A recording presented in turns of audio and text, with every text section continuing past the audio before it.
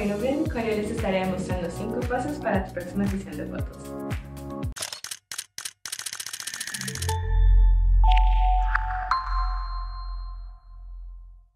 A continuación les llevaré al estudio y les enseñaré cómo es en mis 5 poses.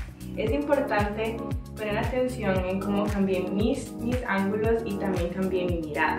Es importante darle variedad a cada fotografía para así poder darle variedad a la sesión de fotos en sí.